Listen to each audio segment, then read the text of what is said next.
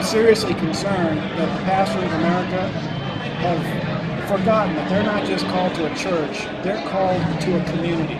Um, Ronald Reagan once said that if we ever forget that we're a nation under God, we will be a nation gone under. And I fear that we're headed in that direction.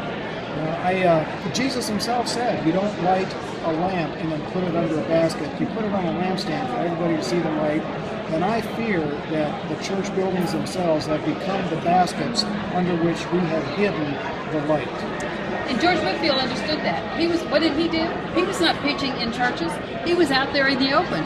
He, in fact, I think he had pretty large congregations. Is that not true? Oh, George Whitefield preached to 10,000 people without any microphone or electronic enhancement.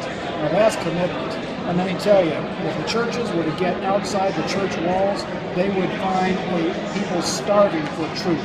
You know, I, I have a service at Sunsplash Park in Daytona every Sunday morning, watching the sun come up, God's beauty of creation, and people come to hear God's word. And they are often homeless. Uh, a lot of them come from a group home across the street. People who would never set foot in a regular Christian church because they feel like they wouldn't be welcome. But those are exactly the people that Christ told us to go to. He said, Go and make disciples. He didn't say sit on your rear end inside a building and wait for people to come to you. So, what America needs more than anything these days is to see Christians with the courage to step outside the church walls. And the churches keep us too confined so that we don't we don't feel safe doing that outside of the doors of the church. Well, the church has lost its ability to confront evil in our society, and we're seeing the results of that all through America. We are told to contend for the faith.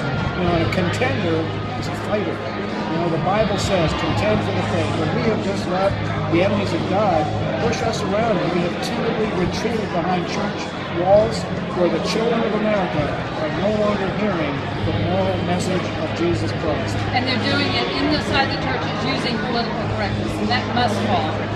Well, this is no time to be a silent Christian. That's exactly right. A silent Christian is a defeated Christian. It's time for us to get out there and do what we're supposed to do. George Whitefield, we're gonna be uh, raising you some pastors to follow you.